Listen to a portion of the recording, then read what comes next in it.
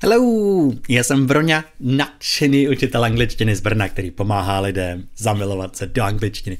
A ty vás nadšeně vítám na začátku tohoto videa, kde se spolu podíváme na překladatelské pedly, kterým neuvěříte. Mám pro vás uh, různý hlášky a překlady z filmů, které byly v angličtině, překladly se do češtiny a ty překlady jsou tak blbý, že tomu nebudete chtít věřit, ale vážně se všechny staly. I překladatel může být slabou chvilku. Tak uh, připravený se pobavit a doufám taky trochu poučit? tak pojďme na to.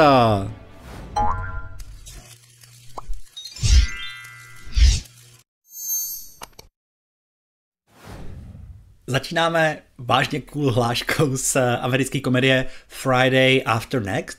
Tam se potkají dva kámoši a jeden říká, jak je tam nahoře? A druhý říká, zima.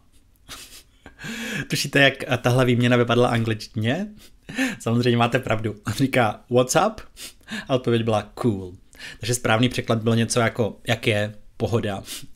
Jinak pozor na to, what's up, samozřejmě může znamenat doslova, co je nahoře. Potom taky what's up znamená, hej, jako co se děje, co je za problém, tak by tomu třeba rozuměla většina mých kamarádů, jsme se o tom bavili v Británii. Jo, když za ním přijdete řeknete, hej, what's up, tak on může být jako nothing, všechno je v pohodě. Takže jako co se děje, co je za problém, třeba někdo pláče, řeknete hey, what's up? No a, a nebo taky v, typicky v americké angličtině to bude jako pozdrav, něco jako, že v podstatě jako hello. uh, druhý uh, cool překlad je uh, z filmu Fair, uh, Fair Game. Tam Boris vystupuje z taxíku, dává platí a říká tomu taxikářovi zachovej změnu. Tohle, tohle jak já si úplně vám hlava nepobere, ale když se tím zamyslíte, co by to mohlo znamenat, tušíte? Přesně tak. Drobné si nech. Anglicky to bylo keep the change, takže česky by to mělo být správně drobné si, drobné si nech. Zachovejte, přemýšlel, přemýšlím, co asi ten Borec si u toho říkal, když, když to překládal, zachovej změnu. No a pak tu máme komedii Spaceballs. A, a tady je, a, tady se mluví o nejlepším muži.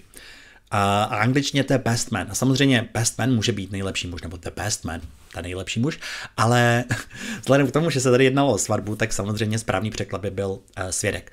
Best man je totiž taky svědek ženicha, tak tady to jinak moc nedávalo smysl. No a v britském uh, seriálu od BBC One Foot in the Grave se uh, Borec chystá grilovat a dělá prostě obrovský přípravy, vypadá to jako něco jako mega. A, a jeho manželka se na něj neuvěřitelně dívá a ptá se ho něco jako chystáš se grilovat a sperma z verliby? a tak musím říct, že tohle je jako dost už oříšek. Tady schválně přijde někdo na to, co, proč se ptá, jestli se chystá dělat sperma z verliby? Hele, já bych na to bez, bez googlení nepřišel. A je to proto, že ten výraz, který ona použila, je sperm whale. A sperm whale znamená vorvaň.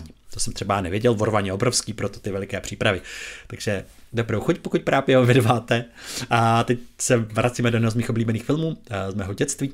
A to je Návrat do budoucnosti 2. A tam eh, ten hlavní hrdina prostě to, že něco podělal a potřebuje zpátky cestovat v čase, aby to napravil a říká, musím to zafixovat, tedy v české verzi.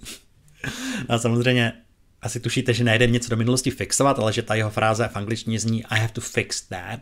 A I have to fix that znamená musím to napravit, dát to dokupy. Jinak slovíčko fix skutečně může být upevnit, zafixovat, přidělat, ale tady logicky, když něco se nepovedlo a chcete to opravit, tak říkáte I have to fix that.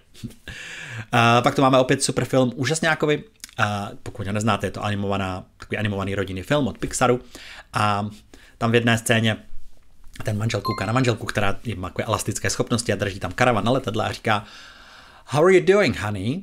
A tohle bylo přeloženo, jak to děláš, zlato. On samozřejmě ví, jak to dělá, protože tuhle schopnost zná, takže správně by to mělo být, jak se vede zlato. Navíc si myslím, že jak to děláš by bylo how are you doing it. Jo, bez toho it, jenom how are you doing, je, jak to jde, jak se vede. V podstatě je to ekvivalent hovorový how are you. Uh, a teď se přenášíme do něčeho, co se jmenuje Ruka zabijáka, což je hororová komedie. Uh, já jsem ji nikdy neviděl, omlouvám se, tady jsem si jenom hledal nějaké zajímavé prostě perličky pro vás. A tahle stojí za to. Tady, se, tady zazní hláška tví skálopevní kamarádi. Tušíte, co by mohlo znamenat tví skálopevní kamarádi? Hej, máte pravdu, bylo to anglicky your stoned friends takže tvoji zhulení kamarádi. Takže pozor, stone je sice kámen, ale pokud ho někom, zvlášť když na to tak trošku vypadá, pronesete, že je stoned, eh, tak tím nemyslíte, že je skálovač nebo kameňák, ale, ale že je zhulený. A poslední je Den nezávislosti, to je zase starší film, mě se moc líbil, když jsem na něj kdysi koukal a tam hraje Will Smith a tam zazní hláška Překryl jsem tě, brácho.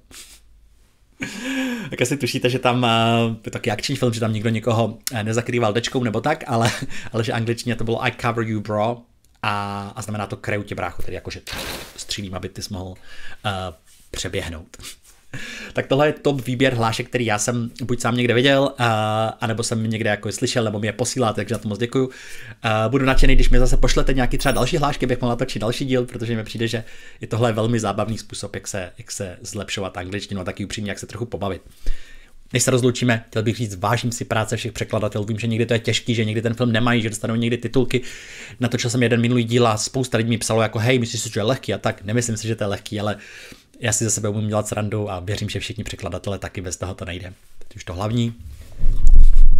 jako vždycky, don't forget to stay awesome and dream big. bye bye.